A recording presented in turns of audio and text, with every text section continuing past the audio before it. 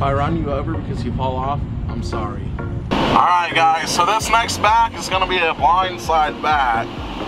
I got my uh, cameras ready. I don't have them set up, but they're ready. I know this is side side right now, but I'm going to have to turn around.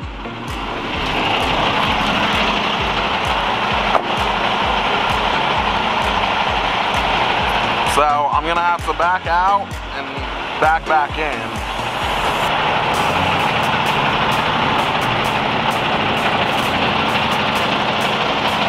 And this is why it's gonna be a blind side.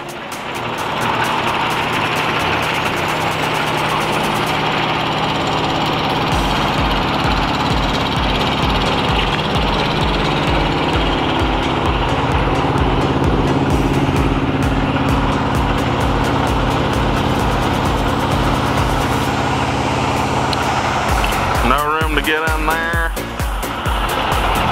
No room to pull forward.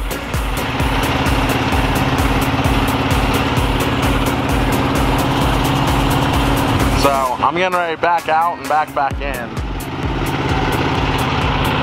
That's the only thing I'm gonna have to watch though.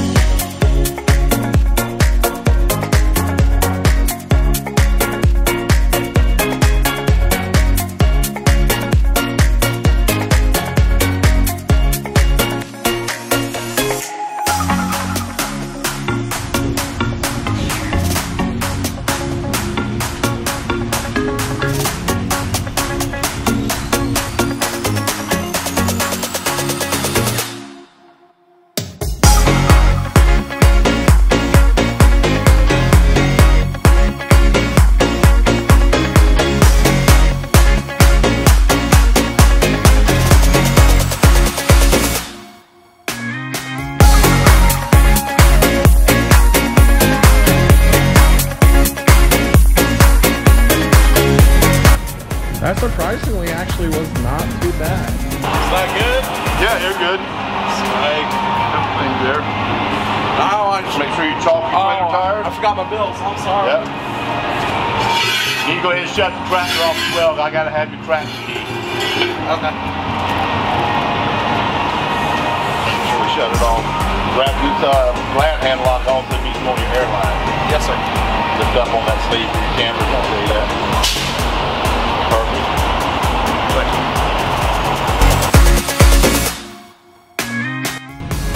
Better